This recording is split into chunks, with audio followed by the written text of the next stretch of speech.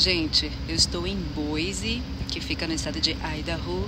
Olha só como está o céu. Isso daqui é fumaça das queimadas.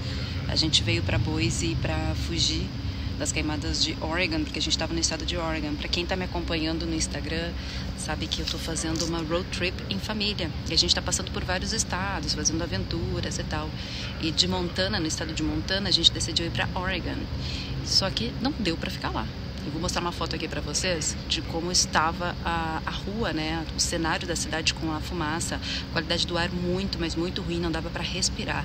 Então a gente decidiu fugir para Boise e ficar por aqui pelo menos por alguns dias, porque a gente queria descer pela Califórnia e está impossível porque a Califórnia está em chamas. Então não vai dar. Mas hoje a gente acordou e Boise começou a ficar pior também a qualidade do ar aqui. A gente ainda não sabe o que a gente vai fazer, mas tudo bem. Isso tudo eu vou relatar para vocês nos vlogs no canal, que vai ter vlogs da viagem, da road trip. Mas hoje é dia de assunto sério aqui no canal. E como vocês estão me pedindo, eu vou dar uma pausa nas minhas férias para falar um pouquinho mais sobre esse assunto, que é uma boa notícia para os imigrantes que desejam vir para os Estados Unidos. Vem comigo que eu te explico mais.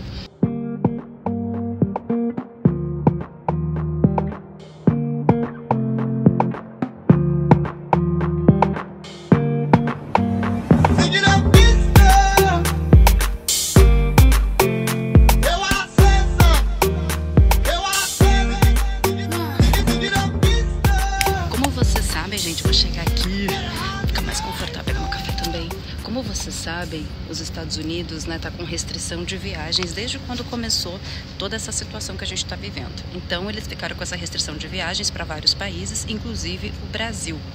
Aí começou a circular algumas notícias né, de, que o, do que, de que os Estados Unidos iria retirar essa restrição de viagens e aí tudo começaria a voltar a um novo normal, né? Novo, entre aspas, novo normal. E aí muita gente começou a me questionar, me questionar, me questionar sobre isso. Aí eu falei, gente, eu só vou uh, falar alguma coisa, fazer um vídeo, quando eu tiver confirmação oficial, né, sobre realmente que as coisas vão começar a voltar a uma certa normalidade.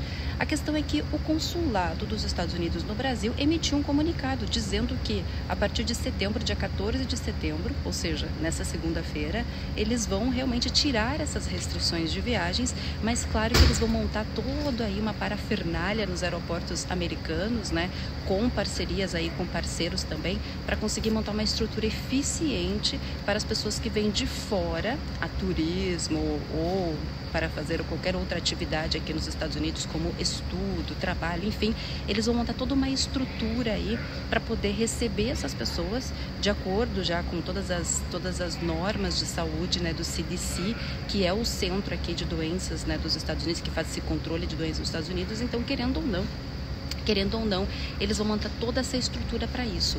E aí, por causa dessa estrutura que vai ser montada nos aeroportos, eles vão começar a voltar a ter uma certa normalidade na questão de vindas de estrangeiros para os Estados Unidos. Então, essa é a grande notícia né, do dia, é que a partir do dia 14 de setembro, então, confirmado pelo consulado americano no Brasil, confirmado que eles vão, aos poucos, sim, tirar as restrições de viagens e vão começar a, a normalizar o retorno de estrangeiros para os Estados Unidos, respeitando, obviamente, né, as normas de segurança, as normas de saúde, para poder evitar que essa questão toda continue, né, aqui nos Estados Unidos. Eu não falo o nome porque você sabe que o YouTube ele corta, né, então não posso falar, tem que ter todo um cuidado, o YouTube tá bem chato nesse sentido, tem que ter todo um cuidado para não poder falar sobre isso.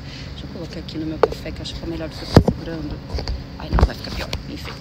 Mas só para falar para vocês que então essa notícia é boa, que a partir desse momento, a partir de amanhã, então eles vão tirar essa restrição de viagens e tudo vai começar a retornar aos poucos, mas claro que eles vão montar toda aí uma estrutura para conseguir fazer um controle desses passageiros que chegam de outros países para os Estados Unidos. O que eu acredito que vai impactar mais, na minha opinião? O que, que eu acredito que vai impactar mais?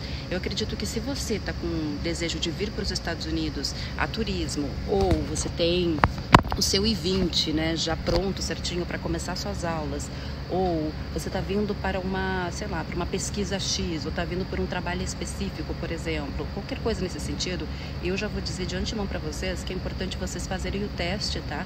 O teste no seu país de origem e apresentar esse teste quando você for fazer a sua entrada nos Estados Unidos. Isso também já evita muita coisa, como o tal do filtro. Então já fazem o teste também, né? Se você puder, você já avisa as autoridades que você vai fazer os 14 dias também, né, para poder respeitar todas as normas de segurança em relação a tudo isso que está acontecendo. Então é muito importante. Essas medidas também vão ser por parte deles, eles vão informar isso para vocês, vai ser informado isso nos voos, vai ser informado isso quando você fizer a sua imigração no aeroporto, mas é importante você também tomar essas medidas de fazer o teste antes, fazer o teste antes de vir para cá e aí mostrar para as autoridades que o seu teste deu negativo, tá? Isso é bem importante para poder te ajudar também nessa, nessa estrutura toda que eles vão montar com esse retorno todo. A princípio, eles estão dizendo que essa restrição vai sair a partir do dia 14 de setembro, de acordo com o comunicado do consulado americano. Porém, a gente não sabe se de fato vai ser a partir daí, né? Ainda não, não foi emitida nenhuma ordem executiva do presidente Donald Trump avisando sobre que realmente vai ser a partir do dia 14, porém o consulado ele já informou que vai ser. Ai, tô ficando com o braço cansado. Porém, o consulado já informou que vai ser a partir do dia 14, sim, tá? Vai ser a partir do dia 14 que vai, que vai ser retirada essa restrição de viagens e a partir deste momento eles vão começar então essa, essa estrutura toda nos aeroportos para poder receber os imigrantes, né, os estrangeiros que vêm para os Estados Unidos. Enfim, é uma boa notícia, resolvi compartilhar aqui no canal para vocês, dando aí uma pausa nas minhas férias, fazendo um vídeo bem caseiro, assim, bem rapidinho e pensando também no que, que eu vou fazer aqui em Boise, já que estamos com essa situação toda, né, de, de queimadas e tal. Tá bem triste o cenário na Califórnia. Eu até postei alguns vídeos meus stories sobre as coisas que estão acontecendo aqui. Então, quem quiser acompanhar também a minha viagem, acompanha lá pelo Instagram. Vai estar no Instagram toda a viagem. Eu vou fazer também vlogs para vocês aqui no canal. Eu só não coloquei ainda nenhum vlog, porque como a gente está movimentando o tempo todo de cidade para cidade, é muito complicado. A gente não tem estabilização de internet. Então, não tem como ficar baixando vídeo no canal, editar e ainda baixar vídeo, né? Então, vou fazer isso quando eu retornar. Mas vocês vão ver tudinho os lugares que eu passei, que são lugares lindos, que vale a pena você fazer essa road trip também, viu? vale muito a pena para quem quer vir para cá. Enfim, mostro tudo para vocês no canal, mas também trago boas notícias para vocês. Espero que vocês tenham gostado do vídeo curtinho, mas importante, informativo e com ótimas notícias pra gente. Beijos, se cuidem, gente. Bom final de semana. Até o próximo